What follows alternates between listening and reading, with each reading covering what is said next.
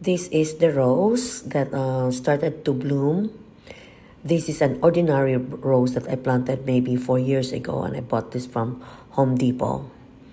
I put fertilizer in this rose because it wasn't really blooming in the last few years. So I used that rose tone fertilizer and look at this now. It is effective. So this side of the house, this is the front house right after my bay window. I planted some mums here and some boxwoods and spirea and I need to trim this area. That's the mums that I bought from Costco a few years ago and it came back. So it is a perennial mums.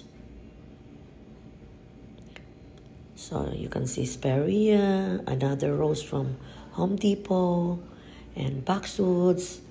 It needs some uh, trimming in this um, side of the house. So every morning I pass by here and I will see this.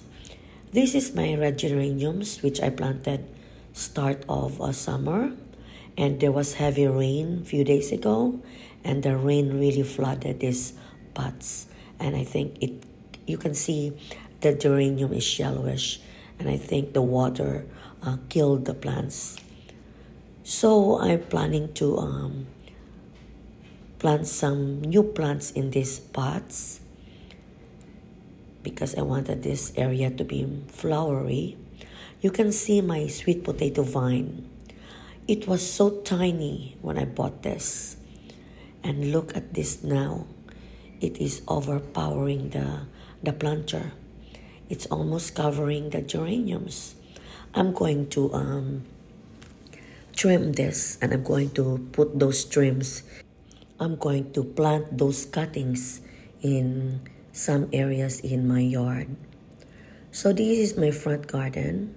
It looks like uh, messy right now, but you can see that the bobo hydrangea I trimmed them uh, winter time and look at them now. They, they grow so big and bushy. So it's really nice to trim the plants. Look at this, big blooms. This is like um, three-year-old Bobo hydrangea. I think I planted them in 2020. And they're so gorgeous. They're petite with big blooms all over. The cornflowers still flowering, and I could see that the banana daisies, the flowers started to go, like they're already gone. So there's still some left that the flowers are still nice. And this is the other part of the yard. Thank you for watching and please follow me or subscribe in my YouTube channel. I really appreciate it. Thank you very much.